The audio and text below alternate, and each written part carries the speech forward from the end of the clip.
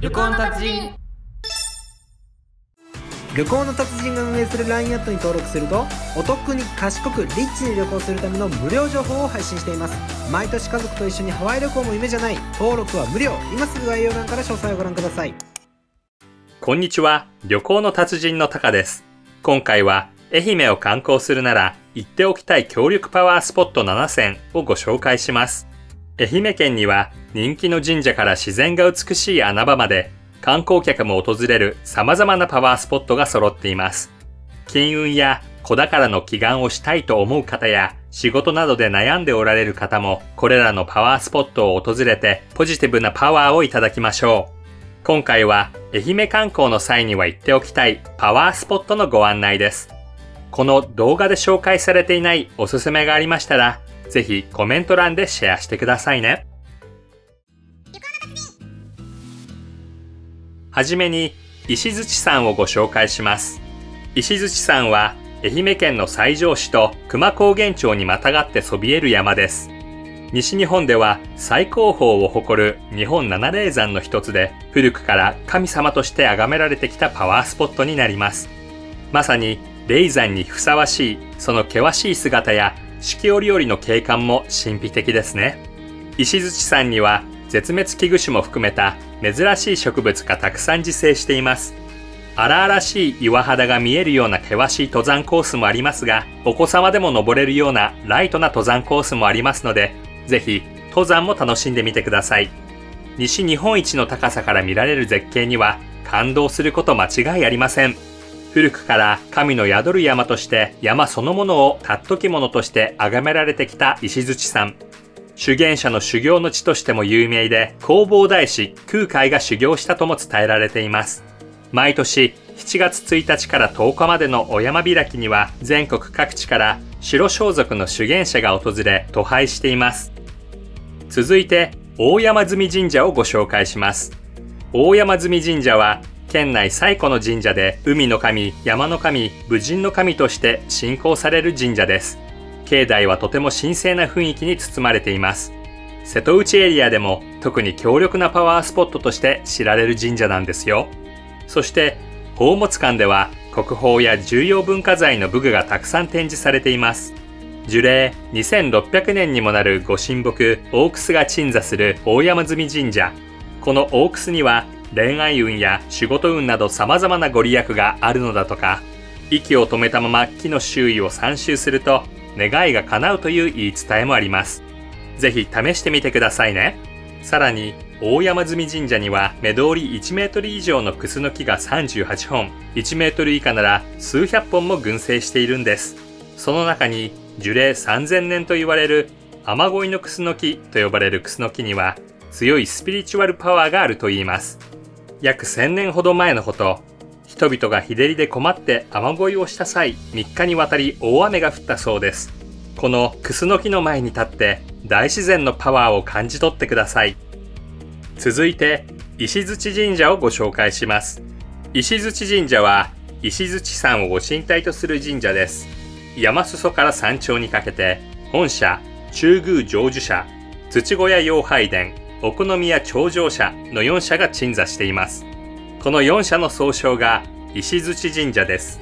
信者や地元の人をはじめ全国各地から参拝客が訪れ願い事が叶うパワースポットとしても人気の石槌神社は諸願成就の神と呼ばれる石槌彦の御とがご祭神となっています特に標高2000メートルの高さを誇る奥宮頂上社はスピリチュアルなパワーを感じられるのが特徴です石槌神社のご利益は家内安全厄除け開運など運気を上げるというより災難を避けるために祈願される方が多いのだとか。特に厄年を控えている方には厄払いのお祓いがおすすめで大きなパワーで厄を払っていただけます。仕事や金運で不運が続いていたり子宝に恵まれない方にもいいですよ。続いて竜の腹をご紹介します。竜の腹というのは長い年月をかけて自然が作り上げた神秘的な光景にあふれた強力なパワースポットです愛媛県下有数の渓谷とされる滑川渓谷にありますなめらと呼ばれる全長 1km にも及ぶ一枚岩の上を川が流れる美しい光景にはただ驚くのみ。心身ともに浄化されますよ。なめ川渓谷を奥に進むと奥の滝に到着。その滝を取り囲む地形はまるで竜が横たわっているかのようで竜の腹と呼ばれているんです。自然の中で水流の音や木々の揺れる音を聞いていれば気持ちも穏やかになってきます。竜の腹は2億年という気の遠くなるような年月の間、水や風に削られながら誕生しました。外界から遮断された空間では、聞こえてくるのは風と水の流れる音、そして草木が揺れる音に鳥のさえずりだけです。神秘的な空気にあふれるパワースポットでは冬になると奥の滝の水が長さ数メートルのつららとなり夏とは異なる驚きの光景に出会えます。続いて玉の石をご紹介します。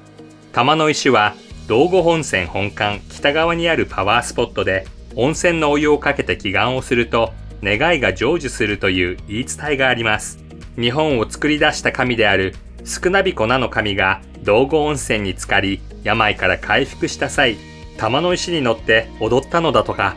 この逸話から玉の石は特に病気療養にご利益があるものとされています。